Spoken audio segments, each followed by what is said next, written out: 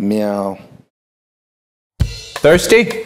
I am. Thirsty for knowledge. For instance, how I can use this simple straw and a bottle of water to create a smile or capture someone's attention. All we need is a little static electricity. Rubber dub dub.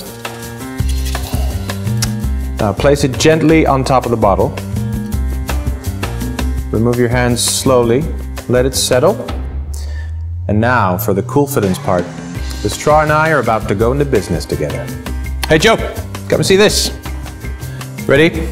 Sending good vibes? Yeah? Okay, check this out.